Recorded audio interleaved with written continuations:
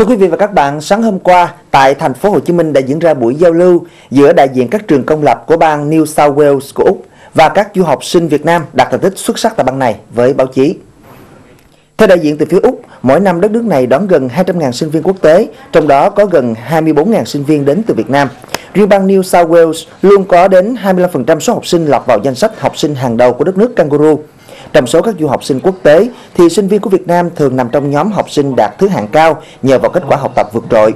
Theo chia sẻ của các học sinh này thì Úc là đất nước có môi trường ôn hòa, nền văn hóa đa dạng và quan trọng là hệ thống giáo dục chất lượng bằng cấp được công nhận trên toàn cầu.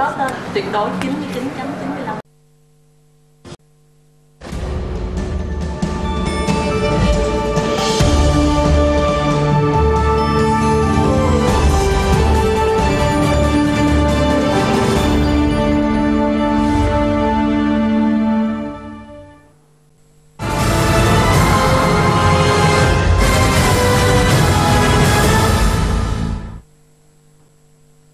Thưa quý vị và các bạn, sáng hôm qua tại thành phố Hồ Chí Minh đã diễn ra buổi giao lưu giữa đại diện các trường công lập của bang New South Wales của Úc và các du học sinh Việt Nam đạt thành tích xuất sắc tại bang này với báo chí.